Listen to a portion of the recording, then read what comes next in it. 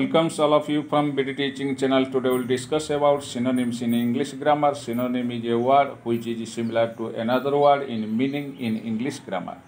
For example, good, fine, infant, baby, select, choose, accurate, correct, always, forever, connect, join, large, big, exit, leave, present, gift, alike, same, stone, rock, last, final. In this way, we can remember different synonyms in English grammar.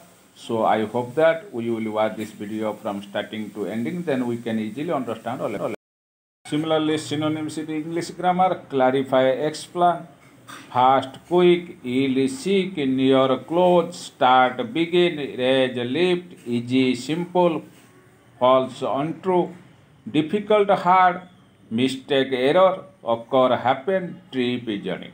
In this way, we can remember different synonyms in English grammar. So I hope that we will watch this video from starting to ending. Then we can easily understand all about this.